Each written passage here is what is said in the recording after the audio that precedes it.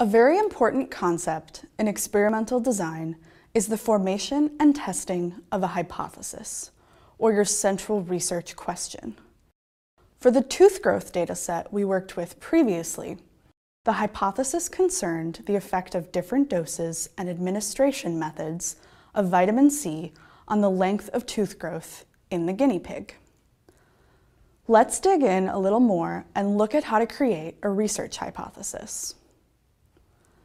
There are really two hypotheses that are grouped together, the null and alternative hypotheses. The null hypothesis is exactly what it sounds like, and the implications change depending on what you're testing. For example, in the tooth growth experiment, the null hypothesis is there is no effect of vitamin C dosage or administration type on guinea pig tooth growth. There's some nuance involved in the alternative hypothesis, and its construction will help lead you to the correct test. If you're testing if the mean is only less than or greater than a value, like you did in the first exercise, it's a one-sided test. If you're testing that it's not equal to some number, that's a two-sided test. The one two-sided rule applies both to if you're testing one or two groups as means. Recall when we conducted a two-sided test to determine if the mean length of tooth growth was not equal to 18. The p-value was 0.4135, so at the 0.05 significance level, we fail to reject the null hypothesis. We have no strong evidence to suggest that the mean is not equal to 18. Directly related to hypothesis testing is the idea of power. Power is the probability that the test correctly rejects the null hypothesis when the alternative hypothesis is true.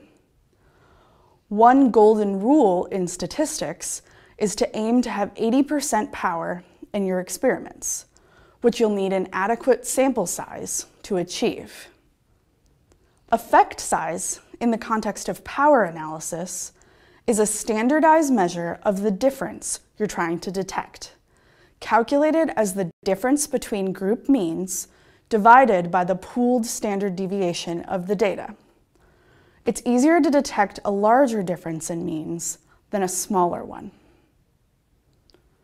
Sample size is important in experiments. In general, as sample size increases, power increases.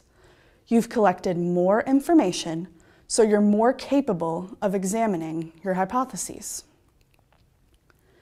You need two of these three pieces to calculate the other.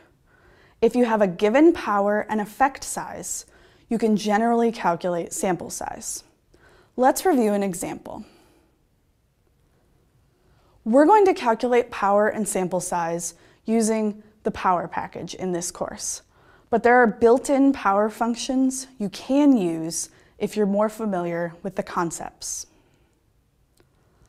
Let's look at calculating power for an ANOVA, or Analysis of Variance test. This is good prep for when we execute these later in the course. The power.anova.test function takes five arguments, of which one must be entered as null so it can be calculated.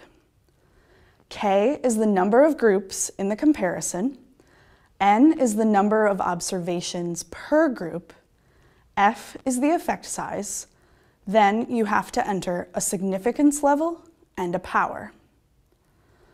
So to calculate power for a test with three groups, 20 people per group, with an effect size of 0.2 and a significance level of 0.05, you would enter this code. Calculating it returns a power of 0.25. Not great. We probably can't detect that small of an effect size with so few people in each group.